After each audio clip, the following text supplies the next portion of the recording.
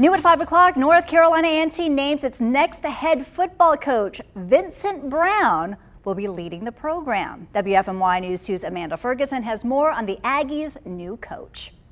Vincent Brown will become the Aggies' 22nd head football coach after the school parted ways with Sam Washington in December. Brown was a second-round draft pick for the New England Patriots in 1988 and a three-time All-Pro linebacker. He spent the past four seasons at William & Mary as its associate head coach, defensive coordinator, and linebackers coach. The Tribe finishing 11 and 2 overall this past season. He will be introduced to the Aggies program Monday afternoon.